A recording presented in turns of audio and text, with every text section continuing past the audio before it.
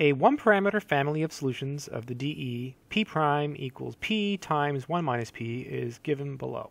The question says, does any solution curve pass through 0, 4, then through 0, 1? If yes, give the corresponding value of C1. And if not, then enter DNE. Okay, let's work through it. So the solution to the DE is P equals C1 e to the t over 1 plus c1 e to the t. So let's do the first part. So 0, 4. 0, 4.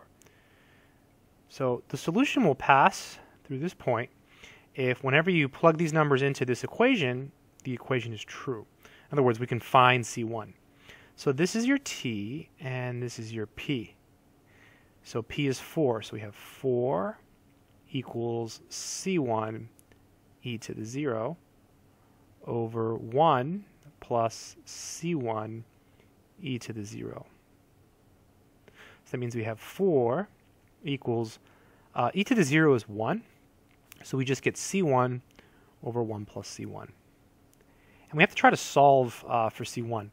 Let's go ahead and multiply both sides uh, by 1 plus C1. Let's try that, see if it works. 1 plus C1. These will cancel. And I guess we can distribute this 4. So we have 4 plus 4C1 equals C1. Now I guess we can subtract the C1 from both sides. So minus C1 minus C1. So we have 4 plus 3C1 equals 0. Then we can subtract the 4 so we have 3c1 equals negative 4. And so c1 is equal to negative 4 over 3.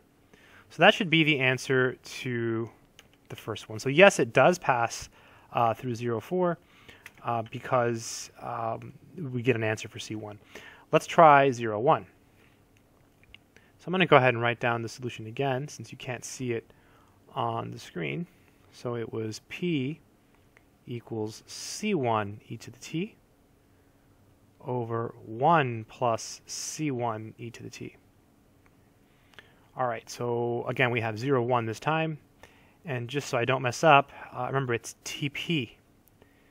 So it's 1 equals C1 e to the 0 over 1 plus C1 e to the 0.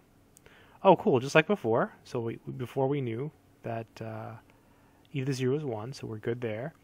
And then same steps, right? We multiply both sides by 1 plus c1. So parentheses 1 plus c1, parentheses 1 plus c1. Oh, I see what's going to happen here. Uh-oh. Ah. And then you subtract these.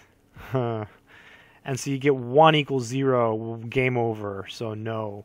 So the answer here is D and E. It does not pass uh, through the point 0, 1. Kind of a nice problem. I hope this video has been helpful.